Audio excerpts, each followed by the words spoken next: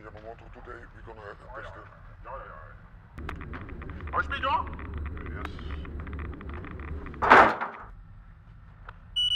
Nine, eight, seven, six, five, four, three, two, one, zero.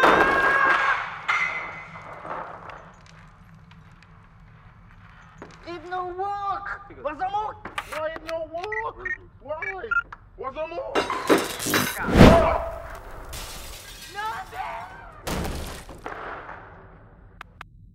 Yamamoto,